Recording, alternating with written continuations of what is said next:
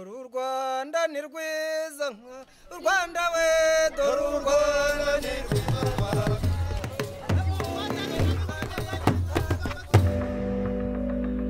There's a guy in my country many years ago who said that if you educate a man, you educate individual. If you educate a woman, you educate entire society. Women are the ones who take care of the kids. In difficult times, they put food on table. Yet, when it comes to financial, digital inclusion, they are the least in this field. They are the most vulnerable in the society. gusa ubuzima nyine bw'iyi minsi ku badamu ni buhabanya pe ubuzima bubi kuko hariho imibereho mibi ubona nyine byacanze cyane abadamu ubuzima bwanjye bwari hasi cyane bishoboka ariko kugeza izi saha ndabasha kwigurira amavuta nkafasha umukecuru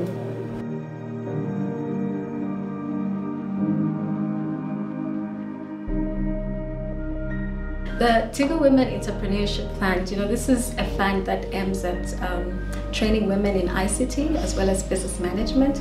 When we did research, there was feedback to say the reason for lack of trust in digital financial services because of the level of customer service the women were getting from male agents.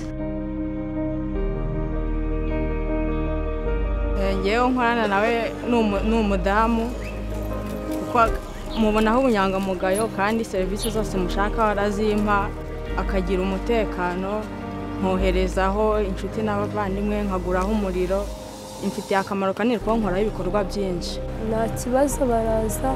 Abagore kandi baraza bakatubaza serivisi tukayibaha bakabyishimira bakavuga ngo ni byiza. Bajyaga kubitsa mu mabanki bikabagora ko isa n'isaha haba saa yine haba saa kumi baraza bakabikuza nta kibazo. Mu by'ukuri kugirana imikoranire myiza na tigo byafashije abagore b'abanyarwanda bagezweho n'uwo mushinga wo gucuruza amafaranga binyujijwe muri tigo kashi ndetse n'ubuzima bw'imibereho yabo burahinduka haba mu ngo zabo haba kuri bo ubwabo. Ubu ngubu bakaba bishimye kandi bahamya yuko byabafashije kwiteza imbere. Ntabwo ntari nabona iyi simukadi iyi telefone. Ntabwo nayigaga. Ntabwo nabaga nakwikodeshereza inzu ngo nyishyure. Ariko aho nayiboneye ndakodesha ndishyura nyir'inzu nditunze nkariha n'ishuri. Nkabona n'itike injyana ku ishuri. Agaciro byanyunguyeho ni uko nabashije kumenyana n'abantu ntari kumenyana nabo.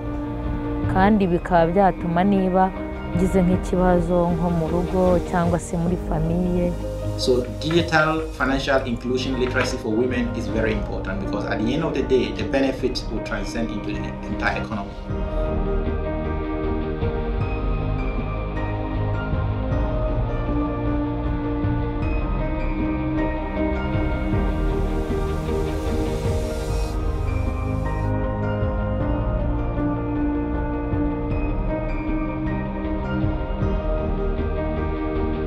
Banyita mukansana marie rose.